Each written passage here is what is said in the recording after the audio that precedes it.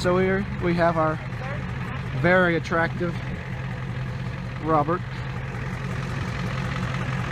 Over here, our first contestant with the Yamaha 200 two-stroke blaster, Mr. Nick here. Yeah. And you're pissing fuel. Look at that. Yeah.